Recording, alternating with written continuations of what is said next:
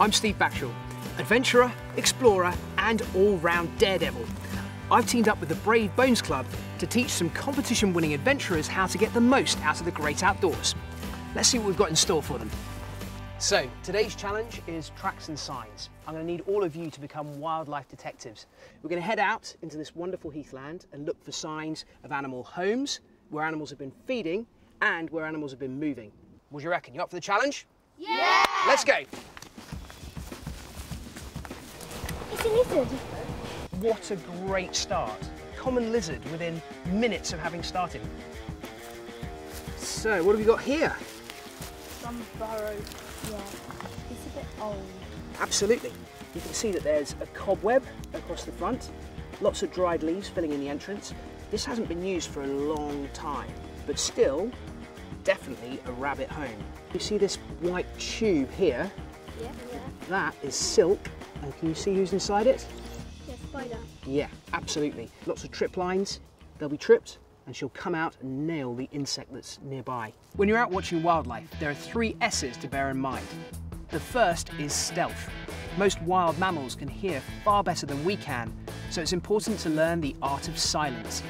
Walk carefully, quietly, cautiously, and pay particular attention to the ground you're going over. Also, if you keep quiet, you have much more chance of hearing other wild animals. What have you got, girls? We found an ant nest. Oh, yes, so you have. Have you found anything else? We found some droppings up there. Oh, yes. Perfect find. So you can tell an awful lot, not just the animal that it's come from, but how long ago it was here, and in some cases what it's been eating as well. So he was here maybe last night. You could tell that because they're fresh, they're still glossy. Good detective work, girls. the second S is style. Bright, gaudy colours really stand out against the natural environment, and animals will see you coming from a mile off. I'm not suggesting you go full on camouflage, but dull, muted colours definitely work best.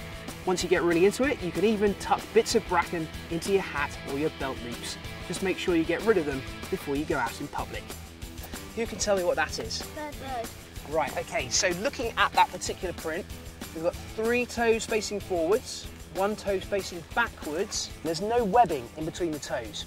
So what does that mean?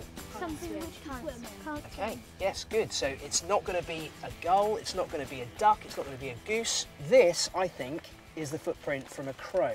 You can still see pretty much exactly where this bird's walked. So it's certainly been this morning.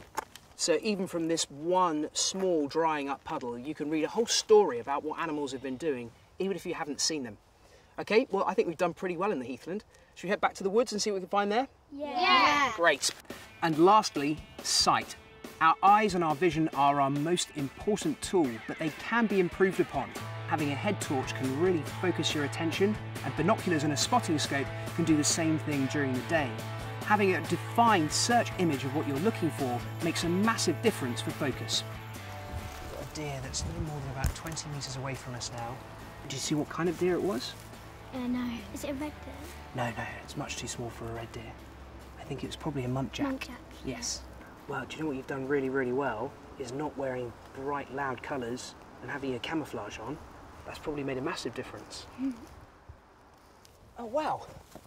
Okay, this is perfect. So, when you've got a whole bunch of shells together like this, there's only one thing it can be. This is from a bird called a song thrush. And what they'll do is fly out, catch the snails, bring them back here, and they'll have one particular hard tree root or a stone that they use as an anvil, and they'll smash the snails against it so that they can get at the nice animal inside.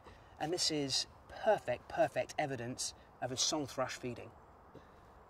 So I know that human beings don't like stinging nettles very much, but animals love them. And then sometimes you'll find a nettle leaf that's tied up into a knot and sealed together with silk, and on the inside, you see that? Is it a spider's egg? That is a spider with her egg sac, guarding it inside a sleeping bag of stinging nettle. And that's why having nettles in your back garden is fantastic for wildlife. I think you've all done brilliantly today. You found things that other people would just walk right past. So, what's been the highlight of the day, boys? We found a mother spider carrying her egg sac. It was also in the leaf. And what about for you two? We found evidence of a song thrush bird eating its prey. Nice. And girls? We've seen a um, deer. I think it was a monkjack, but it was in the distance and it was really beautiful. It was just roaming around. Well, I think it's been a pretty good day, but I reckon we can still find a few more things. Should we head off? Yeah. See what you can get?